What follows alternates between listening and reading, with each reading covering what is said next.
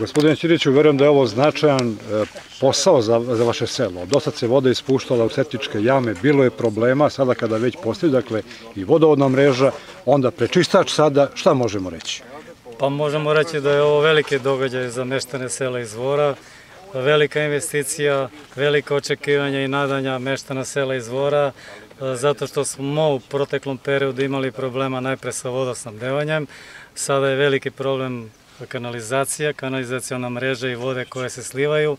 I u narednom periodu, kao što smo već čuli, u naredne dve godine imat ćemo priliku da budemo priključeni na kanalizacijonu mrežu i to će biti spas za sve meštane sela izvora koji trenutno u ovom trenutku imaju taj veliki problem, problem a, voda, koje se slivaju u septičke jame, koje se često prazne, to su dodatne investicije ljudima, otežavaju život i življenje i na taj način, na neki način ljude dovode u razne iskušenja. Odliv voda ide na sve strane, neki se snalaze preko raznih odlivanja na nezakonit način i tako dalje. Svemu tome doće kraj, nadam se, naredne godine. Ljudi će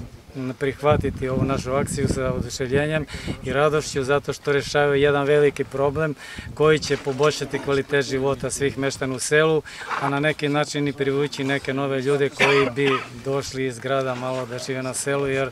u tom slučaju selo dobija i poprima atribute življenja u gradu, tako da će ljudi moći da dođu u selo, da žive u selo, da žive zajedno sa nama i to jednim boljim i kvalitetnim životom nego što smo ga imali do sada.